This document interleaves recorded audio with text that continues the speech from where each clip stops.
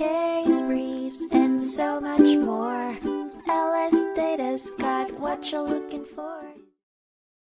In Wilson v. Clancy, a United States District Court for the District of Maryland case from 1990, a person unsatisfied with their inheritance sued the attorney who wrote the will for malpractice, claiming the attorney was negligent in drafting the will and did not properly carry out the testator's wishes. The attorney in question had drafted a last will and testament in 1987 for Dr. Thomas A. Hurney, which left valuable assets in a joint property that was ultimately passed directly to Dr. Hurney's wife outside the will. The plaintiff alleged that the attorney was guilty of malpractice for not advising Dr. Hurney to transfer the jointly held property to his sole ownership for the will to be effective. However, the defendant insisted that they had discussed property transfer with Dr. Hurney and that there was no duty to change the ownership.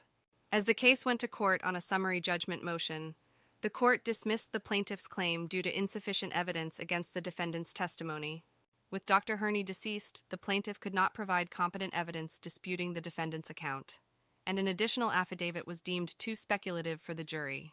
Consequently, the court granted summary judgment in favor of the defendant, and the plaintiff was held responsible for paying the case costs. Case briefs, and so much more. LS Data's got what you're looking for. Visit lsd.law, elevate your mind. Leave the stress of.